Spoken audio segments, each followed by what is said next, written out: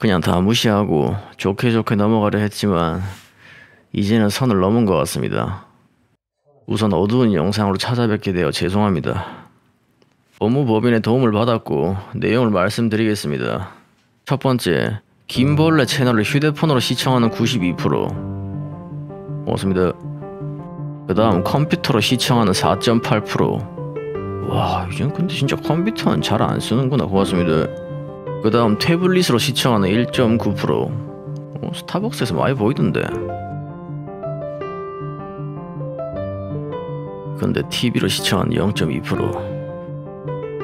지난번에 내가 좋게 이야기를 했잖아. 눈 피하지 말고 거기 들어. 혼자 방에서 폰으로 보면 되는 걸 왜 굳이 거실 TV로 보시냐고.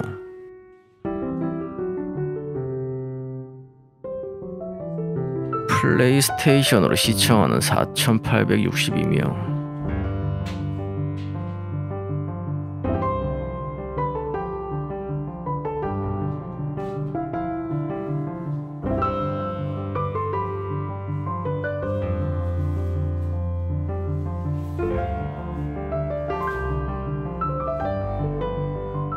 항상 재밌게 재밌게 하니까 사람 좋아 보입니까?